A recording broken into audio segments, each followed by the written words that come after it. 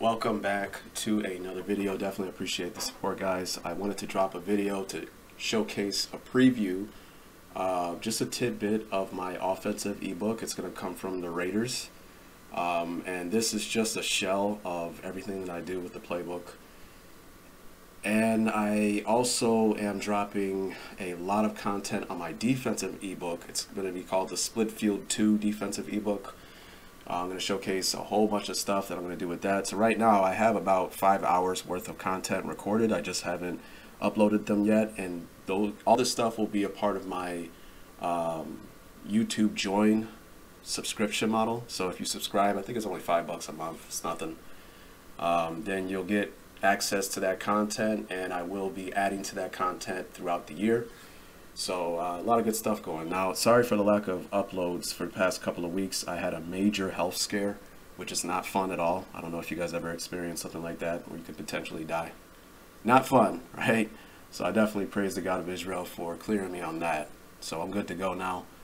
Let's just get right into the video because I'm on a short time spurt right now. So um, the first thing I'm going to show in my ebook is going to come from the Gun Empty Ace Raider playbook. So I'm not going to get into detail, detail about all of these plays. Just going to showcase to you a couple of drives from this particular playbook to see my thinking and etc. So first play of the game, I believe I come out in the clear out formation. Okay, pre-snap read, looks like cover two, we got outside corners. Okay, and he's in a bear front. So obviously with my ebook, I'm going to go over pass protections because from this particular formation, we are in a five-man protection scheme, okay? So I won't go into de detail with that here. So right away, I should set the protection here, which would put us in a 5-0 call, okay? Which makes this guy the hot right here. And the second I see this, I know I'm good in protection. So th this is the this is the biggest thing about pass protection. When you understand pass protection and you see something like this, now my eyes can be 100% downfield. Let's say this is my vision cone, right? And I, I look over here first, or wherever I want to look. Now, you're probably wondering what the hell is he talking about? Well, how many times have you snapped the ball and you don't know if they're coming, if they are coming, and your field of vision is like this, right? And you're looking over here, but you're kind of looking here too, right? It It's a lot more muggy down the field when you're worried about the pocket. You don't know if you're good or not, right? As opposed to understanding pass protection, at the snap of the ball, you're not hot. So now my eyes are 100% downfield, and that's where you can make uh, better throws in the coverage, okay? So I snap the ball, he chases that clear out over here. We have a Salem concept over here. Hold this underneath safety, throw inside, big game. Okay, I run no huddle, and it is, this is the beauty of no huddle, guys. We, we dictate to the defense. So he audibles. So think about the audibles that people have. You have, as opposed to having the entire defensive playbook at your disposal, when you're forced to deal with a no-huddle offense, now you only have four plays from a specific formation that you can uh, audible to. Obviously, he can check into other stuff, but he doesn't have a lot of time. So he checks out, and the pre-snap read here is cover zero right away. So immediately I check into one of the our zero blitz beaters, and obviously we have to understand protection. So I think I click away here to showcase it. You see, I, I make him the mic. Obviously, I will go over that with my, uh, when I get into the ebook stuff. But real quickly, I make him the mic. So what does that do? Okay. Our slide will be there.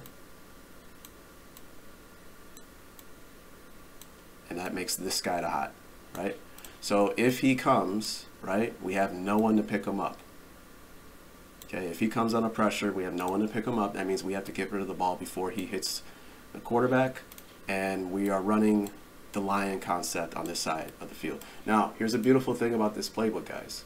If you go check out my lion passing concept, I think I made a video on that last year in Madden 22. That's another good thing about the videos I make. I mean, they're kind of like timeless because that's what football is. It's timeless, right? The concepts are the same. You just have to try the concept in the next year's Madden to see how it works against the coding of the game. And that's where Madden is just so wrong, right? In the league and in the college, these concepts are timeless, right? So, you know, the the sail concept is great against spot drop cover three no matter what, right? But you'll never know with Madden. You have to check it out in game first before you try it, right? But anyways, I'm already going on a rant, right?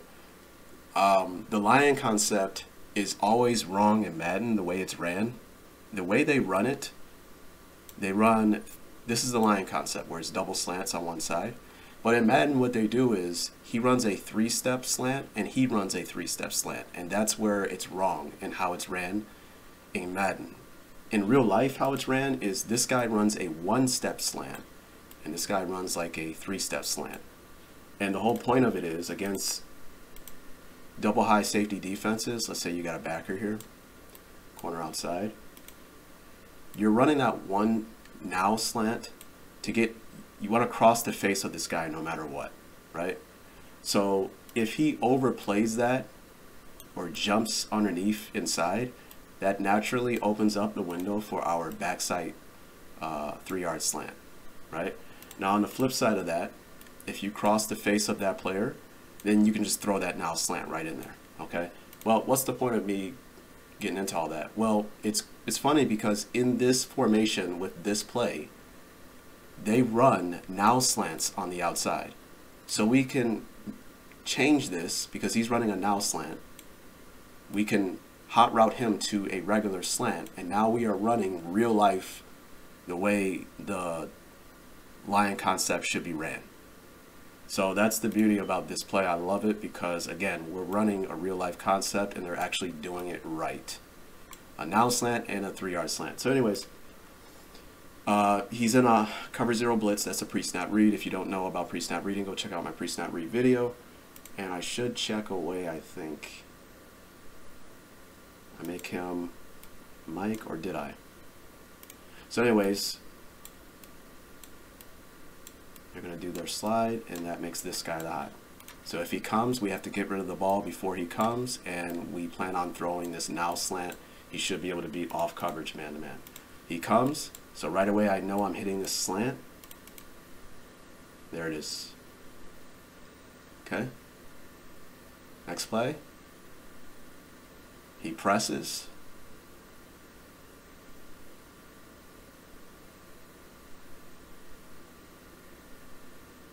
So I don't remember what I did. Alright, so right there. So I think I was trying to figure out what I, I was going to do because the pre-snap read, the corner was outside, and it didn't look like he checked out of his original play. So it looked like some type of cover two deal with him trying to disguise or bring this guy up, right? But then he just um, audibled and then pressed down, and right away we can see what they're doing. Inside leverage, inside leverage, inside leverage. This looks like cover zero again, okay? So this is where I check into this screen. Obviously, so my offensive ebook will dive. Man, that's a lot of stuff, guys. So I'm sorry if, if, if I'm the guy who talks too much. Obviously, my channel won't be one of your favorites or one that you want to venture into.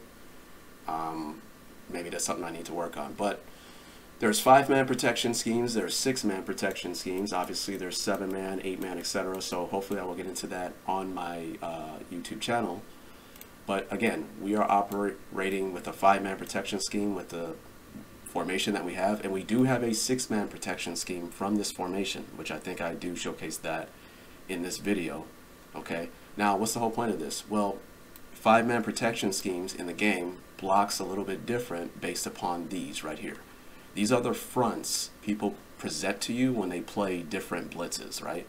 So they can play cover zero with an even front, an odd front, a bear front, or what I call a double A front. And obviously I'll probably add more stuff as time goes on on my YouTube channel. Okay, so obviously I'll have uh, charts and stuff and we'll get into all this neat stuff later. So I, I showcase that because what front do you think this is? Well, this is what I would call a bear front.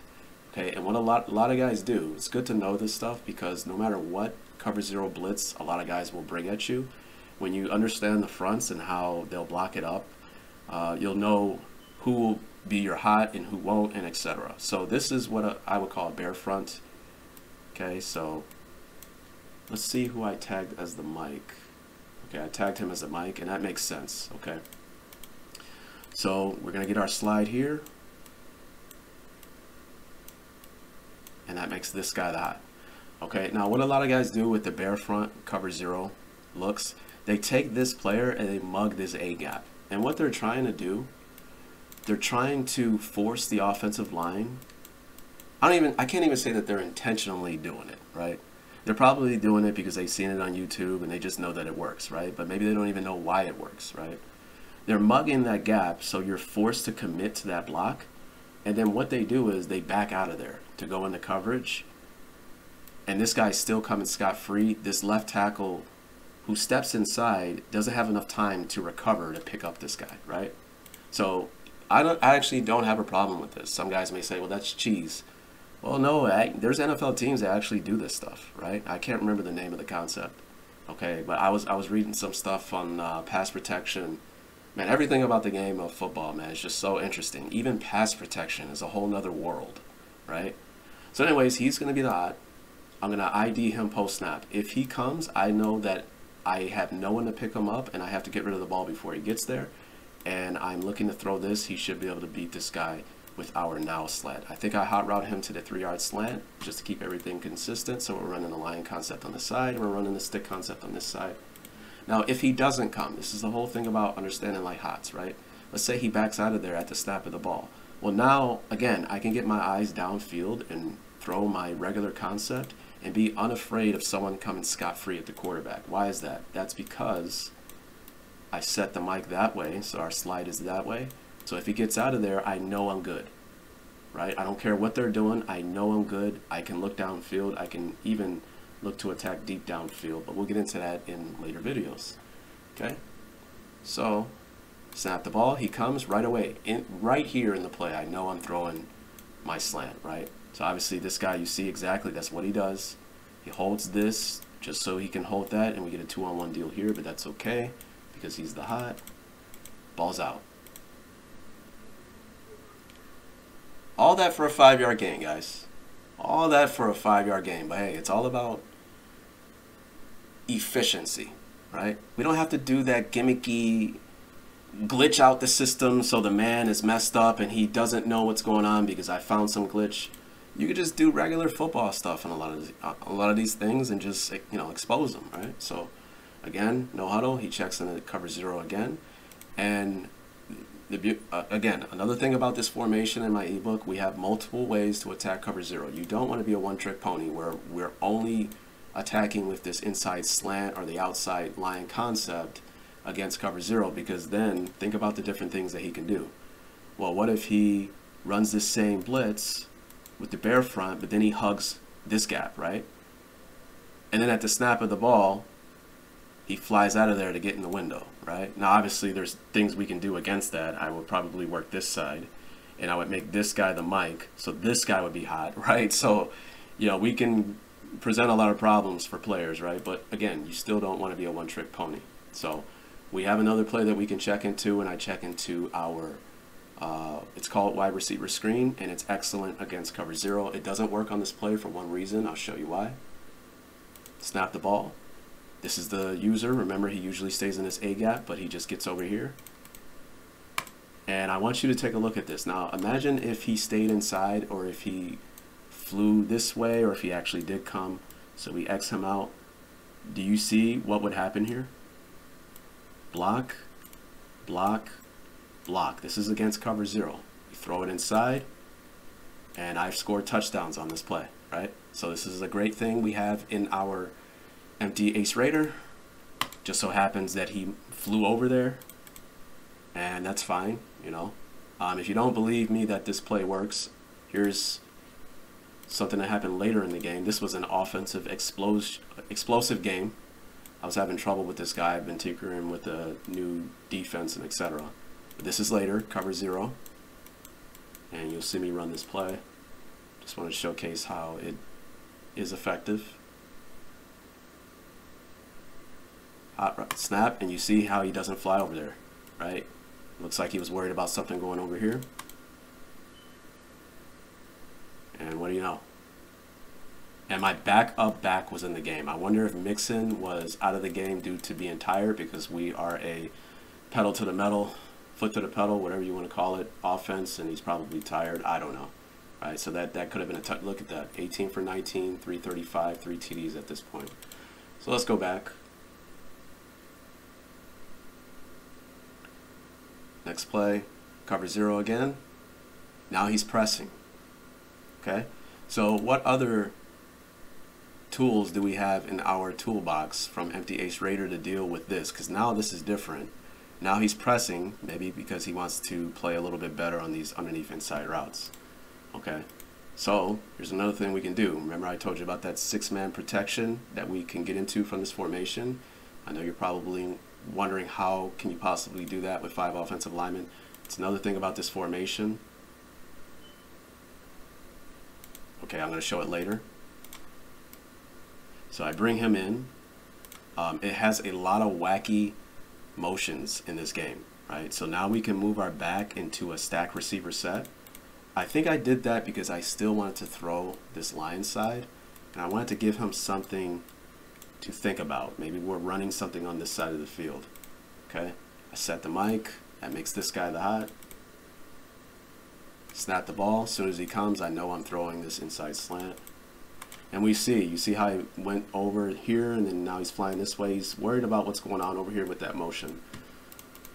We throw it inside. Third and four. Next play. Cover zero again. So I think this is the six-man protection, right? Let's see.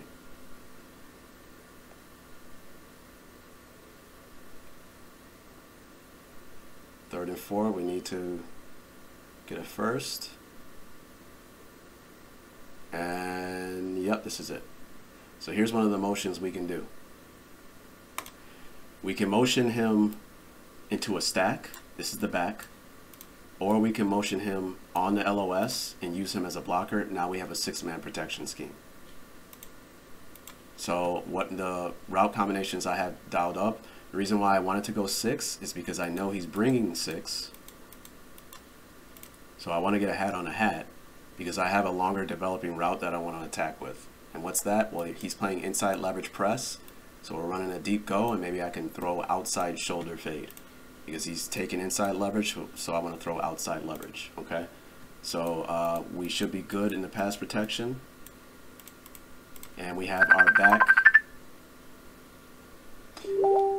And we have our back in the protection scheme to pick up a linebacker. So that's something I'll go over with these videos. You don't want to bring in the six-man protection and then he's picking up a defensive end, okay?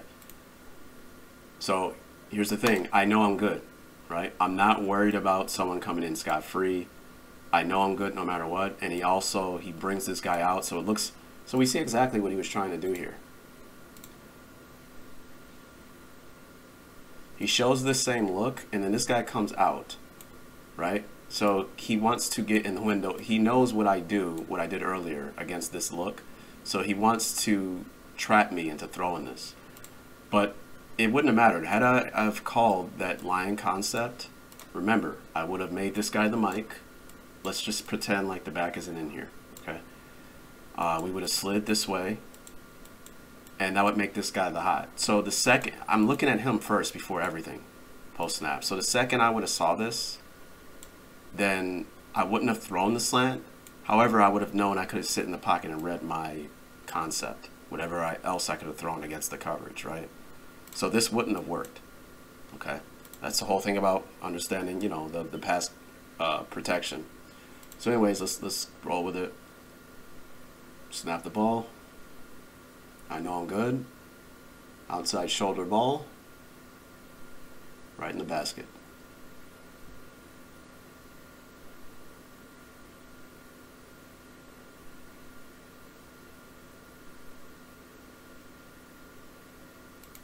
Look how press. He's outside. We're going to throw that outside shoulder. Use the pass free form. And I think I wanted to showcase another drive, and I do. So this is a double in um, play that we have in here. Very good against a variety of different things. But here I check into, here's another thing we can do with this particular playbook. We can shift. Obviously you can do that with any playbook, but there's a reason for everything in what I do. So a lot of times when I come out in this formation, the empty ace raider, when they see that in their defensive uh, play call screen and they see empty, a lot of people will play a prevent dime quarter type defense. And we're stuck with having two tight ends and a back. So the good thing about it though is we can come out in this formation so you can come out in quarter or dime and then we shift or audible into a running type formation with two tight ends in the back. And now we have you outmatched in regards to personnel, right? So that's another unique thing that I like about this particular playbook. Hopefully I hurry along here. I think I shifted again. So first time I ran, this time I'm running um, a stick concept with the dragon concept on the side of the field. We see single high, so I'm working the dragon concept. We're going to read this player. If he widens with the flat, and he does, I'm throwing slant. Inside, there we go. Go check out my video on the dragon concept. So again, no huddle. Seems like he's in some type of cover one. Now he presses, and here's another unique thing about this formation. I can motion this guy into a stack set, and that's how we can deal with uh, pressing at the LOS. You see how they press like that? And now I'm working inside.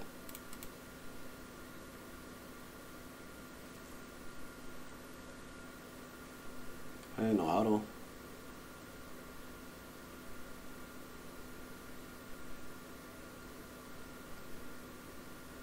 So this time I think I checked into that run again. HB dive. And not a great play. We still got four yards, so actually that's a good play. Any run that's four yards on first down, it's a good play. So he's pressing again. So I shift into our stack set, and then I take him on an out route here. We have a bench concept going on over here. Is that the one? You see how you can't press him and he gets rubbed off with this action right here? And we're running away from the inside user with this route. Pick up a big gain.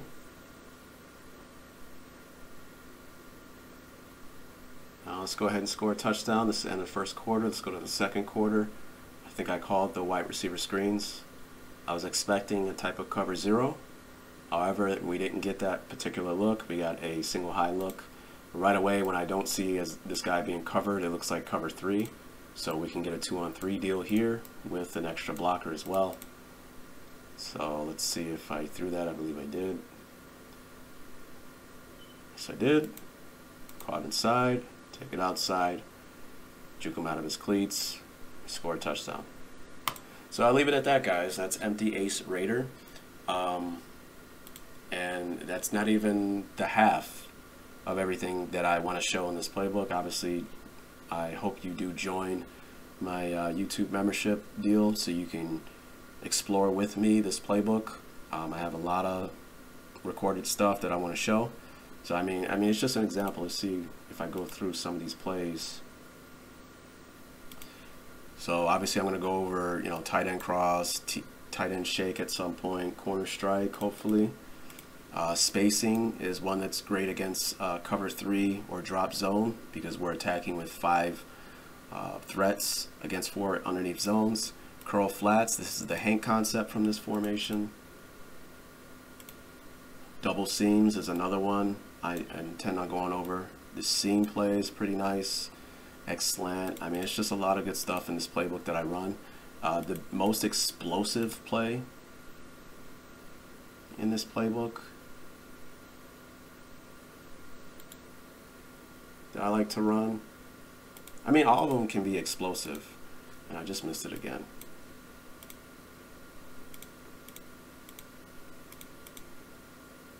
Is go I dig. And we make a couple of adjustments here.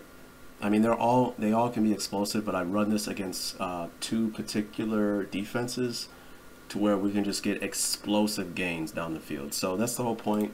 My offense, um, I intend on forcing the opponent to have to defend every blade of grass horizontally and vertically, and we just we just want to stretch them to the max, foot to the pedal, uh, foot on the gas, and exploit where they are weak. Okay, so hope you enjoyed the video. I hope you keep coming back, and um, I hope you uh, think about joining. Peace, guys.